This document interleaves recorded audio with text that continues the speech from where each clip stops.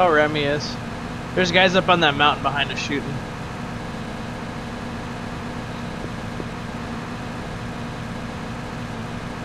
Shots in front of us. Yeah, we gotta get somewhere safe. Nice! Oh man, we need to get out of here fast. Woo!